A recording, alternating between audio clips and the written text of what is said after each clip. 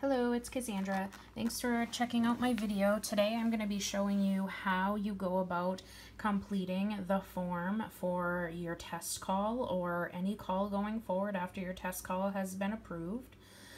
So basically when you um, log into your uh, website here, it will bring you to this tab called My Gigs and when you click on that it will bring up this page it will you can't go any farther than this. You can't go backwards. You it just brings up the next call the next gig um in your lineup. So basically you'll see that it says mystery shop gigs call center resource and insight and the gig number. So you'll always be able to keep track of how many gigs you've done um, because it will increase in numbers. Then next to it, it will tell you what type of call it is. Get an online degree is the next call that I'm on. And then it says here's your call information. You want to make sure to read all of this information because they are not all the same information. So it says that mystery shoppers are identified by information given, phone number, names, etc., are identified by the computer. No pay for repeat users, and gigs may be limited to other regions. Sometimes you will receive a gig that is not available in your state, and unfortunately, you would need to um, skip that call. So then you move down further, and it will tell you the call information the telephone number, you where you need to go once you dial that phone number you would click on graduated high school and you would wait for the customer service agent. Now this is important and that's why it's in bold. The call must last 10 minutes. If your call does not meet the time requirements there is a possibility that you will not get paid. So you want to make very sure that you pay close attention to the bold telephone number, that you're dialing the right number, and the bold here, how long should my call be? Going down further, um, subject of service, this is, this will tell you why you're calling, basically. Um, for this instance, it's getting a degree for business.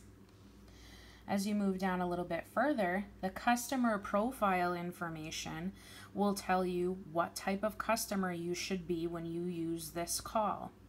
So it's over 18 years of age, you're interested in getting a college degree, you want to study a degree in business, computer, so on and so forth.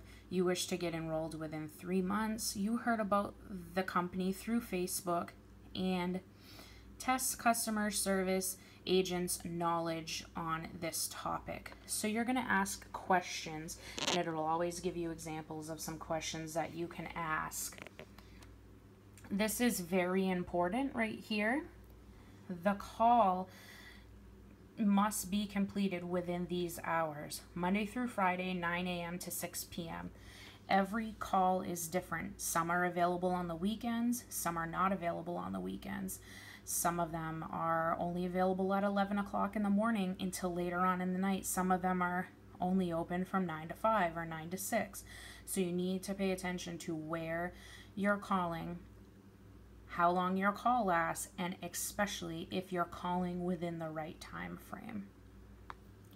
Number six here is bolded to remind you you must ask three questions of your own and you would write those questions down at the bottom and I'll show you I'll go through that in a minute. If you don't write the three questions excuse me out and if you do not note what the answers were you will not be paid.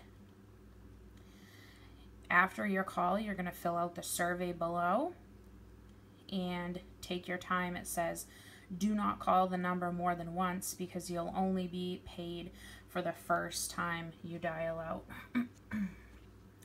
now this down here says write NATC in survey fields when you cannot complete this call. NATC means not able to complete. It's basically saying because of a specific reason I was not able to complete the call. Um, it could be not available in your area there could be no phone number associated with the call, or you have a personal reason why you cannot complete the call. For instance, there are some calls that get fielded to a alcohol or drug abuse information center. Um, if you are not comfortable with completing that call because of personal reasons on your own end, you would be able to utilize the NATC and just explain due to personal reasons, I will not be able to complete this call. so now we'll move down to the survey part. This is going to be the same every single call. This is going to be what you will fill out every single time you complete a call. So we're just going to work down and down. So the first uh, field is your area code and phone number. This is the phone number that you have applied with. This is the phone number that you will use for this call. So you would enter in your telephone number.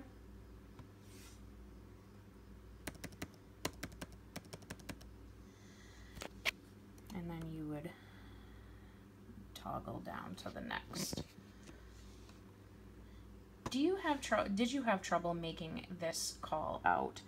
If you dialed and the phone became disconnected, if you dialed and the number set out of service, or some odd other instance, you would write yes and explain why you had trouble.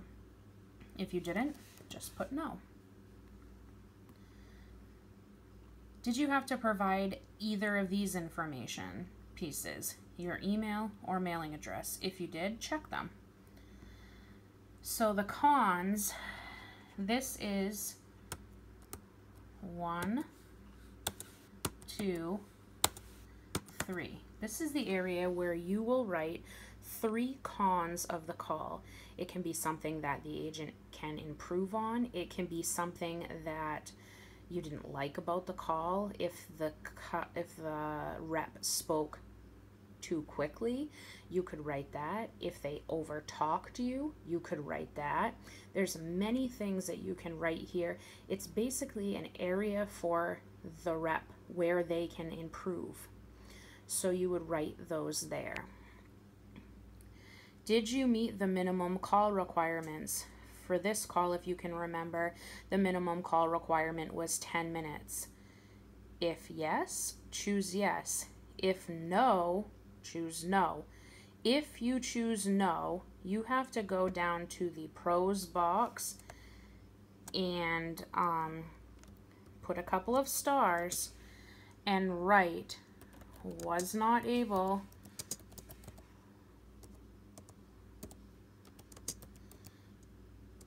to meet. I'm typing with one hand I apologize. Call requirements. Because, and then you would write why, because the call was disconnected, because the agent hung up on you, because whatever the reason is, just write it there. Then you will go up to what was your agent's name. You will write their name. If you were transferred, you will write the person who you first got on the phone with and then a dash, and then transferred to, and the person's name.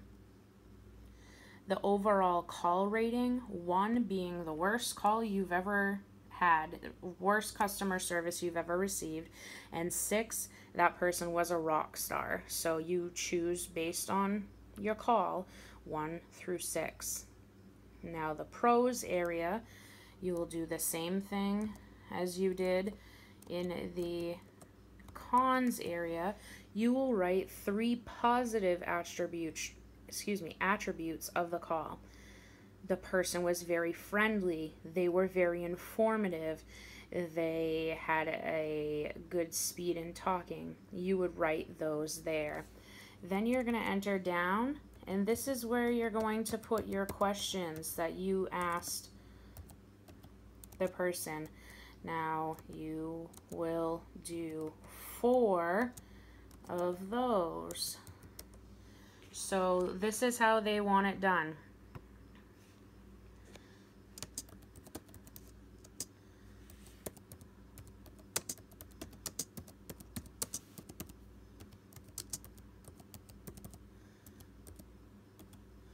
What hours are you open tomorrow? If you asked that question, and I spelled tomorrow wrong.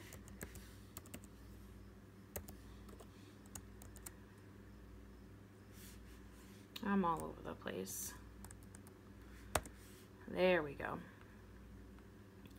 So what hours are you open tomorrow? And they reply back to you and say 9 to 5 Central Standard Time. So that's the answer you would write there. 9 to 5 Central Standard Time. You would go down to question number 2, ask question number 2 within the call, record what you asked for a question and what their answer was. Now, my suggestion is before you even start the call that you already figure out what four questions you're going to ask them because it allows you to be more organized so you're more prepared and you can actually type the answers in while you're speaking to the customer service agent if you choose to. If you choose to complete the form after, that's completely up to you. So after you filled all of this out, all of the fields are filled in, all of your questions have been answered, the pros and cons have been um, have been filled in, you would go down here and you would click submit. As soon as you click submit, a new call will re refresh on your screen. It's that simple. So if you have any questions, you can email me or uh, personal message me on Facebook. I will get back to you as quickly as I can. Um, and I hope this training was informational. Have a great day, everyone.